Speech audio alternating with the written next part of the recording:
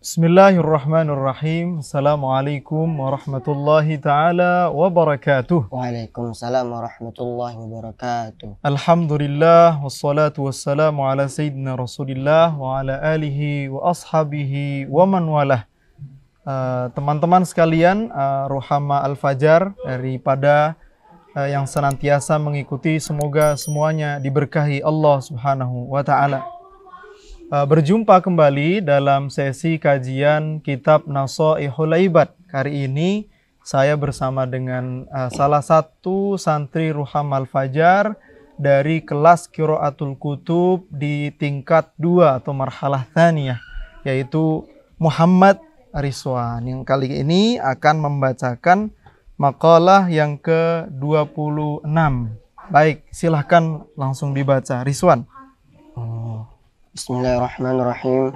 Qala al-muallif rahimahullah wa ta'ala wa nafa'ana bi'ulumihi wa bi'ulumi sairi salihin fid darain. Amin. Ya rabbal alamin. Qila dikatakan kufranun ni'mati bermula mengingkari nikmah lu'mun adalah kehinaan. Wa suhbatul ahmaqi dan bersahabat dengan orang bodoh syu'mun adalah kesialan. Alhamdulillah.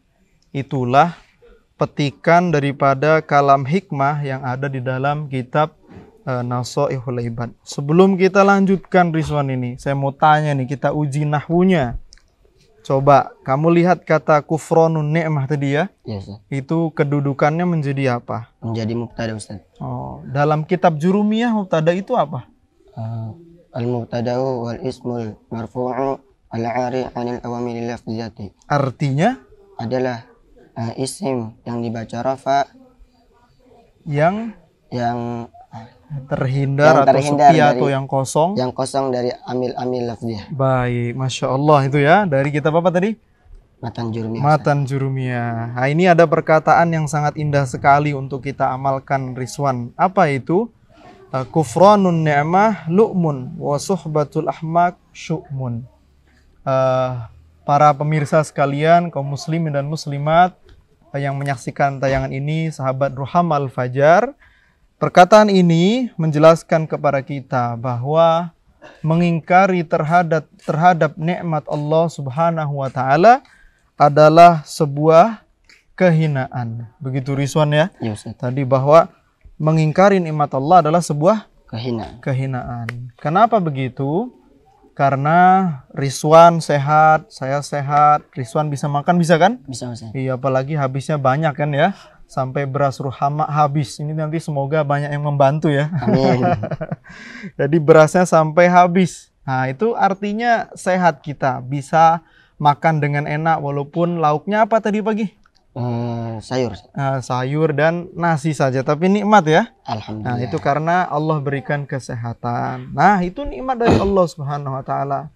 Jika ada orang kemudian dengan begitu banyaknya pemberian Allah Subhanahu wa taala, dia mengingkari nikmat itu, maka dia berada pada kehinaan. Kehinaan atau disebut dengan lukmun. Lukmun, kehinaan. Sebagaimana juga ada di dalam surah Al-Mulk Nah, coba kita baca ya. Ayat awalnya amman hadzal ladzi coba dibaca. Bismillah. A'udzu billahi minasyaitonir rajim bismillahirrahmanirrahim. Amman hadzal ladzi yarzuqukum in amsaka rizqah bal lajju fi 'utuwin wa nufur. Nah itu potongan ayatnya ya kalau kita sering membaca setelah bada isya, ayat itu menunjukkan Allah bertanya. Tapi pertanyaan ini bukan untuk dijawab karena sebenarnya jawabannya kita sudah tahu. Amman hadzal ladzi yarzuqukum in amsaka. Siapakah kata Allah Subhanahu wa taala yang bisa memberi rizki kepadamu kalau Allah sendiri menghendaki untuk tidak sampai rizki itu. Misalnya nih uh, uh, Ruham al-Fajar, santri Ruham al-Fajar, Allah takdirkan, uh, Allah tentukan waktu itu untuk makan ayam yang paling enak di dunia. Nah, misalnya begitu.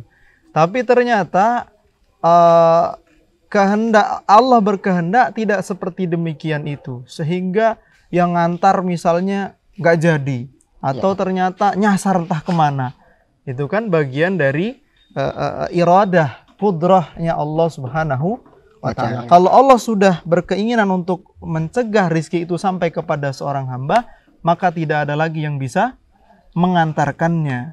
Sebaliknya, jika suatu rizki itu udah menjadi uh, uh, sebuah kewajiban, menjadi sebuah ketetapan pada seorang hamba, maka uh, tidak ada lagi yang bisa juga menghalanginya. Nah, itu yang pertama, mensyukuri nikmat itu bagian dari uh, keren, hal yang keren. Karena sebaliknya mengingkari nikmat adalah kehinaan. Kehinaan. menjadi manusia yang keren itu artinya harus apa? Bersyukur, Bersyukur. ya. Yang kedua, wasuhbatul ahmak syu'mun. Apa artinya tadi? Dan bersahabat dengan orang bodoh adalah kes, uh, kes, kesialan. kesialan. Ya, wawunya waw apa itu? Waw atof. Watofnya berarti dari jumlah ismiyah ke ismiyah. Jumlah ismiyah ya. Oke, baik. Wasuhbatul ahmak syu'mun. Ah, menemani orang yang bodoh adalah sebuah kesialan. kesialan. Makanya cari teman tuh yang pinter Rizwan. Ya, nah, tapi maksudnya bukan kemudian membeda-bedakan. Dalam makna jika diri kita tidak mampu membendung uh, uh, uh, kejelekan teman kita kemudian berpengaruh terhadap karakter kita, maka sebaiknya apa? Dihindari. Tapi jika kita memang mengukur diri sudah mampu untuk memberikan teladan, memberikan contoh, maka hukumnya menjadi wajib justru berteman dengan orang-orang yang belum memiliki ilmu dengan baik sehingga kita bisa mengajarkan, menularkan ilmu. Nah, itulah mungkin dua petikan hikmah yang kesimpulannya adalah uh, mengingkari kenikmatan adalah, adalah sebuah kesialan, kes, kehinaan. kehinaan. Nah, kemudian bersahabat dengan orang yang bodoh adalah itu adalah kesialan. sebuah kesialan. Semoga dua petikan hikmah ini menjadi nilai manfaat bagi kita semuanya. Amin. Saya dengan uh, Muhammad Rizwan, semoga Muhammad Rizwan jadi santri yang bermanfaat ilmunya Amin. ya. Uh, kami undur diri, mohon maaf banyak kesalahan dan semua hal yang itu menjadi ke uh, kealpaan kami semoga dimaafkan dan kita semua diberkahi Allah Subhanahu wa taala. Amin. Hadanallahu wa iyyakum ajma'in. Assalamualaikum warahmatullahi wabarakatuh.